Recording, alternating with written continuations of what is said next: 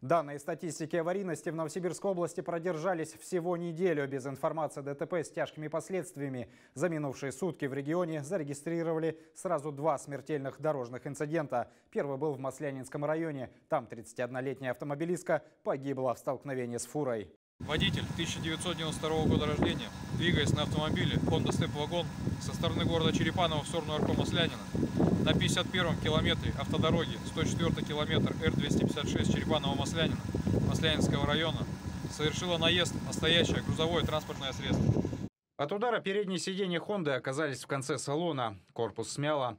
Водителя экстренно доставили в больницу, но травмы были слишком тяжелыми. Спасти женщину медики не смогли. Шофер грузовика не пострадал. Идет доследственная проверка.